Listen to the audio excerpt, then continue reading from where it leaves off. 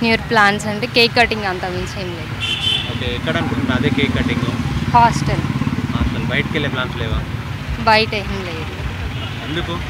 ఎందుకంటే ఏముంటుంది? కరోనా వస్తుంది కదా. అందుకని సో హాస్టల్లోనే సెలబ్రేట్ చేసుకుంటాం. ఓకే ఈ ఇయర్లో బెస్ట్ మెమరీ ఏంటి మీరు బెస్ట్ మెమరీ అంటే నా బర్త్డే అంటే ఎవ్రీ ఇయర్ ఉంటుంది. ఎవ్రీ ఇయర్ బర్త్డే ఉంటుంది కదా. ఇయర్లో స్పెషల్ ఇయర్ ఏమైనా? అంటే ఫ్రెండ్ మెమొరీ ఫ్రెండ్స్తో బాగా సెలబ్రేట్ చేసుకున్నాను. ఓకే ఇయర్ బర్త్డే బాగా సెలబ్రేట్ చేసుకున్నారు మ్మ్. బ్యాడ్ మెమొరీ అన్నట్టు ఏమన్నా బ్యాడ్ మెమరీ ఏం లేదు నాకు అలా ఆహా లేదు. అంత హ్యాపీ నెక్స్ట్ ఇయర్ ప్లాన్స్ ఏంటి? ఏమీ నేను అనుకోలేదు నెక్స్ట్ ఇయర్ గురించి. అంత నార్మల్ వస్తుంది కన్ఫామ్గా యాక్సెప్ట్ చేస్తాము.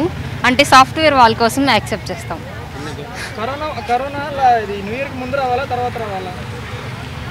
ఇది క్వశ్చన్ అదే కదా మరి న్యూ ఇయర్ ఎంజాయ్ చేసుకోవాలి చేసుకోవాలి కదా. న్యూ ఇయర్ ఎంజాయ్ చేసుకోవాలి కాకపోతే కరోనా వద్దని అనుకుంటున్నాము. ఎందుకంటే చాలామంది లైఫ్లో చాలా స్ట్రగుల్ అవుతున్నారు. పేరెంట్స్ కానీ చిల్డ్రన్స్ లైక్ అలా కోల్పోయి ఫ్యామిలీస్ బాధపడుతున్నాయి కాబట్టి అలా అయితే వద్దు. ఎంప్లాయీస్ పరంగా అయితే వర్క్ ఫ్రమ్ హోమ్ అలా కోరుకుంటున్నారు కాబట్టి అలా అయితే ఓకే.